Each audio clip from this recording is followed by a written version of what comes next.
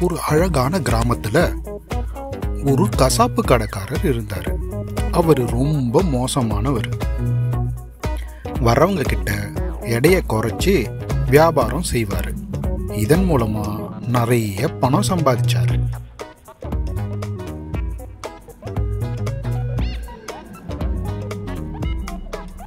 அந்த ஊர்ல அவர் மட்டும்தான் கறிக்கடை வச்சிருந்ததுனால அவருக்கு போட்டியே இல்லை.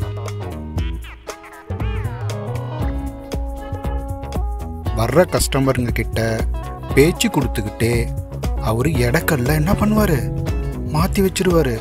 எடையை குறைச்சி அவங்களுக்கு பணத்தை மட்டும் அதிகமாக வாங்கிப்பார். ஆஹா அந்த பையன் என்னை கவனிக்கல. நான் நிறைய சம்பாதிக்கிறேன்.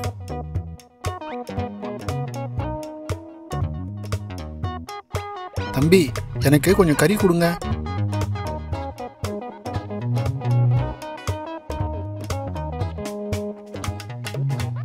என்னண்ணே வரமாட்டேன்றீங்க? அடிக்கடி வருவீங்களே. இப்படி பேச்சு கொடுத்துக்கிட்டே அவருடைய இடையில இருந்து கொஞ்சம் இடக்கல்ல இறக்கிட்டாரு. அந்த ஊர்ல ஒரு தலைவர் இருந்தார். அவருக்கு அவருடைய வீட்டில் ஒரு விசேஷம். தம்பி போயிட்டு அந்த கறிக்கடைக்காரங்க கிட்ட கொஞ்சம் கறி வாங்கிட்டு வா. சரிப்பா நான் வாங்கிட்டு வரேன். அப்படின்னு சொல்லிட்டு அவருடைய மகன் கறிக்கடைக்கு போனார். இருபது கிலோ கறி வேணும். தெரியவா புரிஞ்சுக்கிட்டியா?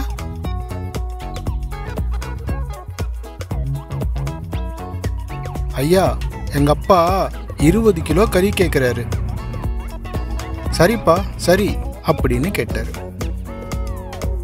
எங்க அப்பா இருபது கிலோ கறி கேட்குறாரு அவரும் குறைவான எடையில உள்ள கறியை கொடுத்து அனுப்புனாரு.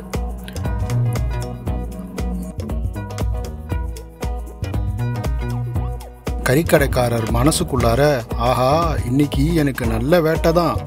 நான் நிறைய சம்பாதிச்சிட்டேன். அந்த பையன் அதை கவனிக்கவே இல்லை அப்படின்னு நினைச்சாரு. ஆனா வீட்டுக்கு போனா அவருடைய அப்பா கறி குறைஞ்சதை கண்டுபிடிச்சிட்டாரு. அந்த பையன்கிட்ட கேட்டுக்கிட்டு இருந்தாரு. ஏன்பா கறி குறையுது. நீ எதையாவது பாதியில் கொடுத்துட்டியா? உடனே அந்த பையன் சமையல்காரரை விசாரிக்க போனான். சமையல்காரரும் வந்தார். என்னப்பா கறி குறையுதே நீ ஏதாவது செலவு பண்ணிட்டியா? ஐயா இல்லை ஐயா நான் எதுவுமே பண்ணலை. ம் அப்பனா அந்த கறிக்கடைக்கார வேலையாக தான் இருக்கும். சரி அவனை கூப்பிட்டுட்டு வாங்க.